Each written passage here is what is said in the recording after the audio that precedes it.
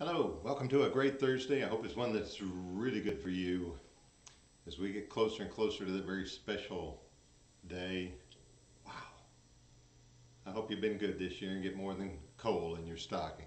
Anyway, it's great Thursday. Glad you're with me today. So come on into my little world for just a moment as we share a thought or two together here. You know, as the year begins to wind down and we begin to think about endings and beginnings. We start thinking about where we are and what we know, what we've learned, what we've done. And all I was thinking about those moments of awakening.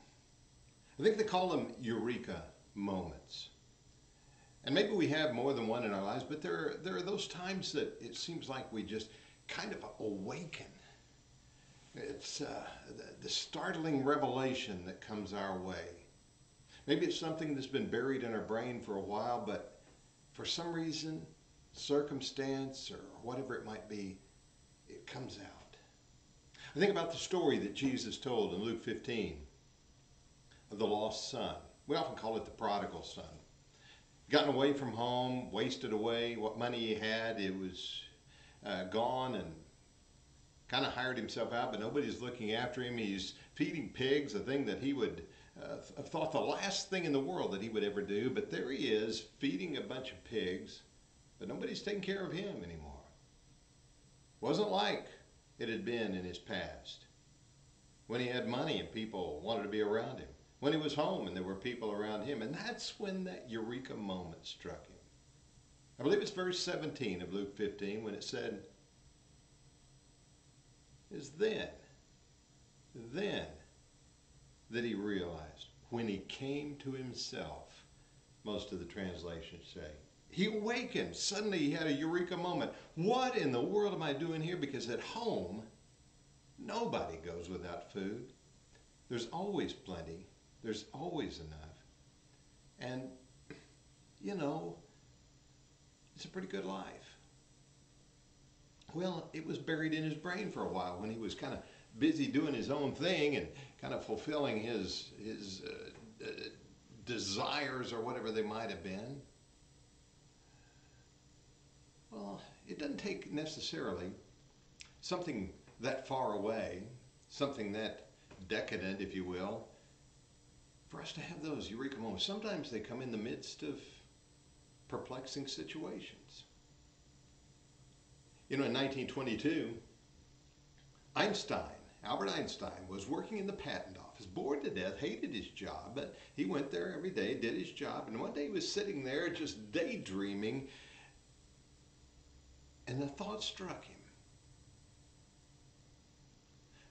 that if a man, a human body, was falling through the air, in essence, it felt weightless. It's kind of one of those things you say, well, Duh. Yes. But it led him to begin to open up, I should say, not begin, but open up his mind in his studies of physics, ultimately leading to some of the revelations that he brought into the scientific world and the physics that were involved in that. But you know, he wasn't the first to have just kind of one of the one of those awakening moments that started a, a consideration. You can go back hundreds, now thousands of years prior, and we've got Archimedes who legend says he was taking a bath. And then he began to realize something about the physics of displacement, of weight and volume and, di and displacement of water and that the upward pressure of the water was equal to the amount of water that was displaced by the body or whatever it was that was placed within the water. And so certain things are going to float and certain things are going to sink depending on density, weight, all those kind of things. And you who are scientific about those things probably could explain it much better, but that's the general idea of it. You say, well, everybody's been taking baths for a long time and knew that some things float and some things didn't, and we figured that out. We didn't have to have the scientific method to figure that out, but yet there is that awakening. Where does that take us? To consider as ships float in the water today. Why? Because we understand that principle. We understand what's going on. We've studied the scientific methods along the way, but every now and then something just awakens whether it's Einstein or Archimedes or somebody else along the way. you and I may have small ones in our lives, or maybe we'll have a great one somewhere along the way. I doubt it for me, but maybe for you. One of those that will change the world. We have an awakening. This is, wow, where did this come from? There are those who study this kind of thing who, who think that uh, it's not just a moment, but it is something that arises out of long term study. There was a, a lady who studied uh, Carol Dweck in, her, in a book entitled Mindset The New Psychology of Success. And here's what she wrote in that. She said, The whole self esteem movement taught us erroneously that praising intelligence, talent, abilities would foster confidence, self esteem, and everything great would follow. But we found it, it backfires. People who are praised for talent now worry about losing the thing, and it goes on. So, what should we praise? The effort, the strategies, the doggedness, and the persistence, the grit of people, the resilience that they show in the face of obstacles that bouncing back when things go wrong and knowing what to try next. So, I think a huge part of promoting a growth mindset in the workplace is to convey that those values and a process give feedback to reward people engaging in the process but not just at a successful outcome.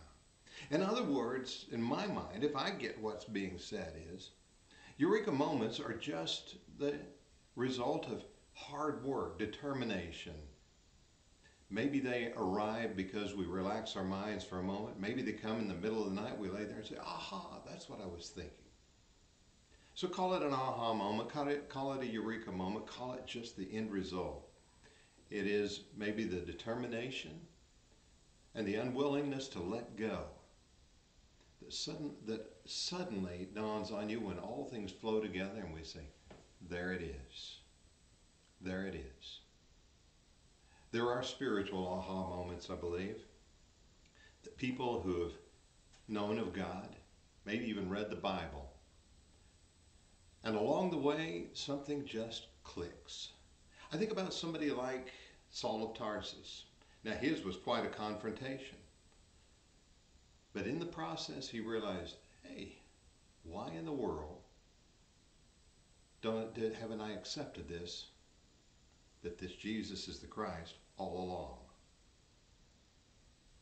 When we have those realizations, it's usually the process of things that have happened in our lives and the unwillingness to let go of our pursuit of understanding and knowledge. Don't ever let go. Let's be in that process of ever learning. And I've got to believe that if we keep growing, keep understanding, we will have those moments, whether spiritual or secular, but I love the spiritual ones when we say, Oh, I get it now. I understand. Those are the great moments of life, and they are the result of your unwillingness to let go, but to keep determined and growing. I think about Einstein, Archimedes, a few others along the way. Maybe even Abraham when he was holding up that knife and said, okay, now I understand. It's a good thing, those aha moments, those eureka moments. And if you have one today, enjoy it. If you have one tomorrow, keep on enjoying it. They'll come, just don't ever let go. Hey, I'm glad you're with me today, and I hope this season, this end of the year, this time helps bring some great eureka moments to your life as well. Hey, we'll share some more a little further down the road.